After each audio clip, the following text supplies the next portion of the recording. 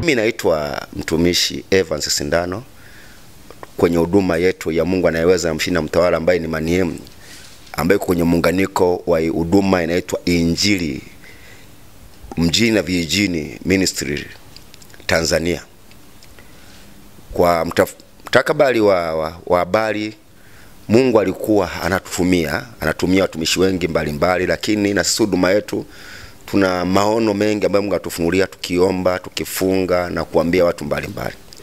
La kwa sasa ambacho kikubwa zaidi ambacho nasikia mguso kwanza nianze nacho kiwe kwa taifa letu hasa kwa Tanzania, lakini kwa Afrika kwa ujumla au na kwa wengine, maanake ibali yote inasambaa dunia nzima, ni kwa jinsi viongozi ambao wana imani ya kiroho, imani ya kiroho wamekuwa ndio chanzo kutokuwa na imani na kukosesha amani sana sana.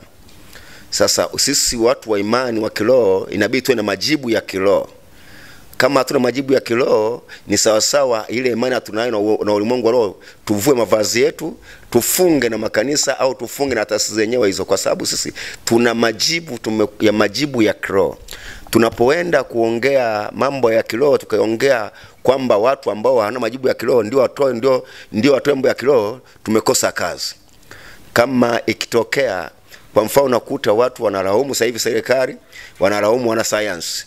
Haiwezekani tukalaumu, sina bidi tupeleke Mungu anasemaje kuhusu wanasayansi wafanye nini, serikali ifanye nini kwa jambo linaendelea. Kama kuna mambo ambayo hayaonekani, sisi watu kio tunaiona mambo yasionekana, kupeleka imani ile mambo yasionekana yapate kuonekana jinsi ya kutolewa tatizo lake. Hapo ndimo kukua tatizo.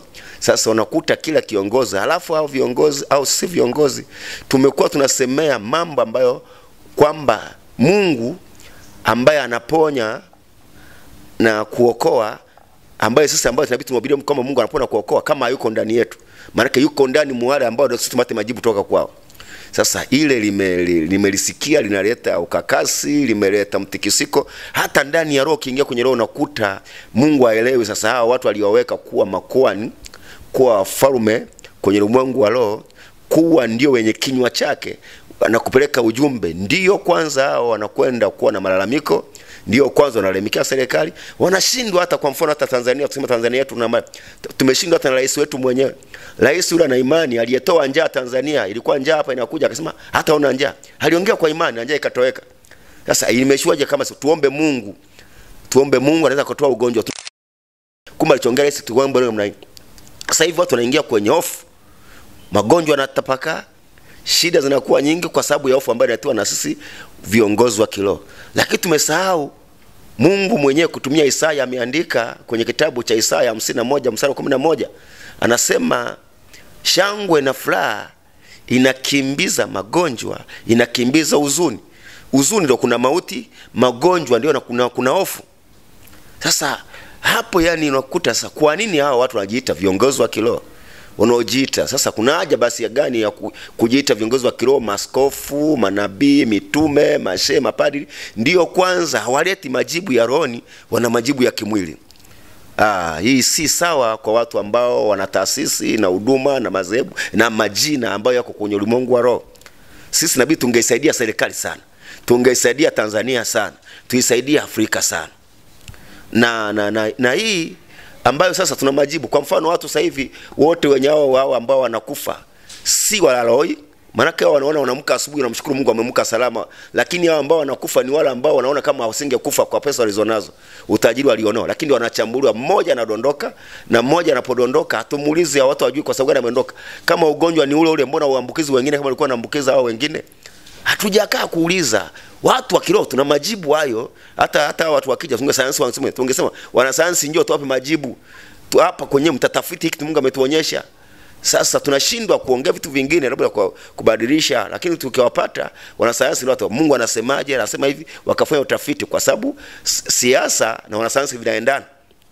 Sisi walimwengu wale tupelekea mambo wapate kutengeneza jinsi ya kutawala na kusimamia majukumu na watu wengine. Sasa kwa mfano sasa hivi watu wana, wana akili waambia kwamba chanjo chanjo chanjo imeenezwa kutoka kila taifa mbalimbali nchi mbalimbali. Lakini wanasema chanjo inakuja kwao bado wanakufa wengi. Tena kwao ndio hakuna mkusanyiko kama Tanzania au kama Afrika. Lakini ndio wanazidi kujifungia. Hatujiulizi. Hao watu ambao wame distance wamekuwa na na na na na, na, na, na, na, na kila kitu kwao ndio kwanza wana idadi kubwa ya kufa kila siku alafu wale watu wa, ndio kwanza wamefanya mambo yote ambayo wameleta maneno kwamba mjikinge mvae barakoa lakini bado wanakufa kwao. Bado lakini sisi huku nakuta ni watu wawili wamekaza na kiasi watu walikuwa wanakufa. Eh, lakini walikuwa wanakufa. Sasa acha mambo yanakufa na ugonjwa na kuugua. Sasa watu wanawaza wanawaza kuletewa chanjo. Chanjo ikija inaweza kawa kwa watu wenye pesa. Au au watu au wataugua watu. Je hiyo chanjo ya muda mfupi wamejua nimetoka wapi? Mimi Mungu waga niwesha mambo mengi na nayatoa ukiangalia kwenye mitandao yangu kwenye akaunti zangu za Facebook sababu natoa. Na kabla haijatokea hii ambayo naiona tikisa dunia Mungu alisema nami nikaitoa toka tarehe 20 mwezi Desemba 22 2020 nikazitokea tokea mtikisiko mkubwa kwa viongozi wa dini viongozi wa taasisi kwenye watu wanaofanya biashara wote ambao hawamwabudu Mungu na kumtumikia Mungu vizuri pasavyo, wanatumia vitu vingine watadondoka imeanza kutimika sasa hivi ndio watu wanaanza kusema kwamba nilisema.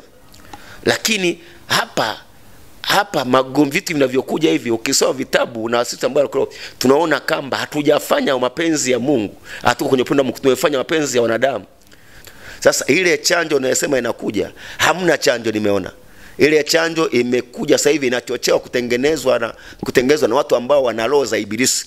Shetani wana wana wa kuasi ndio wanataka kuleta hiyo chanjo na hiyo chanjo ni tatizo kwa Afrika ni tatizo kwa Afrika, imelengwa kusambatia Afrika. Nime, ni Mungu nimeiona, nimemuuliza Mungu na nimeiona na akanijibu. Nikaona watu watakwenda kupigwa chanjo. Ile chanjo itakuwa ndani yake kuna kama formalin, ile dawa ambayo inapigwa maiti, wanakauka, wasinuke, wasioze. Mtu hata atapigwa chanjo hiyo watapigwa chanjo wengi, itakuwa ndani yake kuna watu ambao watakuwa nakauka. Nikaona watu wengi wanakwenda kuanguka, kukauka kwenye magari, kwenye njia kama Sinza ile ambayo ina magari mengi na watu watu wanauka magari wa, Wizara ya Afya inafanya kazi ya kwenda kuokota mauti kwenye magari kwenda na watu wenyewe wakawa hawawezi kunuka, wanakauka tu kwa njiani. Nikaogopa sana, nikasema hii chanjo gani? Kwa hiyo anaposemea hata rais kwamba hii chanjo iangaliwe kwa muda, tusikurupuke au kusema chanjo wale wanaosema chanjo wafanye kwanza, watu waone kwa muda. Chanjo siku zote Ebola mpaka leo hajapata chanjo, imeua watu wengi. Ukimwi unaua watu wengi, malaria na watu wengi, kila magonjwa yote hajapata chanjo. Nguruwe, ugonjwa wa mafua ya nguruwe ambayo yamekuja kama kama kama kama corona, haijapata chanjo. Hii ugonjwa ulipobadilika, ugonjwa umekuja kama kuku ambaye ameugua kideri, watu wanakosa nguvu, wanaondoka wanashindwa kupumua, wanaugua kama ha, ha. Sasa nao hiyo ugonjwa haijawahi kupata kideri, ugonjwa wa kufa. Hii chanjo ya kuja kupata haraka kwa mwanadamu, tena Afrika imetoka wapi? Mbona wenyewe si wangepata chanjo wakajua kwamba tumepona, chanjo inafaa, tumetoka sasa, hatujikingi, atufanye hivi, tumepona, si wangekuwa wametoka kwao kwenye ma, kwenye ma, ma, ma, ma, ma, maficho yao huko Ulaya. Kwa namna hiyo, kinachotakiwa nchi tusikie, lakini si viongozi wa msura mbele kwenye makanisa yetu, madhehebu yetu, watu kuwatoa hofu na watu kumwambia Mungu anasemaje, na watu wakuabudu Mungu, wakamwibidi Mungu, wakamtendea Mungu mapenzi yake, hakutakuwa magonjwa tena, hakutakuwa kufa tena.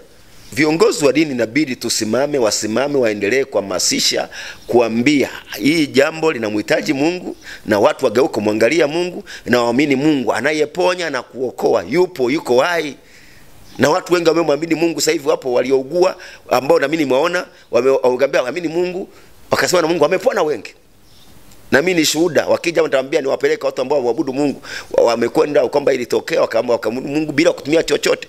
Zaidi zaidi watu ambao walikuwa bona vifua, nimekwenda tunawaombea, afu ambao tumia juisi ya machungwa wakapona wengi, hata wengine bado wanashukuru tu kwa ajili jinsi walivyokwenda kuomba Mungu na mna hakuna dawa. Nikasikia wengine wanywe juisi ya machungwa kwa wingi Nikamwambia juice ya machungwa inaongea minute minute kwenye mwili wa mtu, inaongeza nguvu na mtu anaenda kusurvive. Wetu wamefanya hivyo, wamepona. Hata ukija hapa, mimi na watu ambao nishaongea nao wazidi karibu elfu nne hakuna wenye hofu, wako safi, ila wanazidi kumshukuru Mungu na kumtukuza Mungu jinsi walivyoweza kumwomba, na wana hofu familia zao wala wanapokazi kazi zao, na kama kawaida, na wavai barakoa wala wana distance, wanakwenda kazi kama kawaida.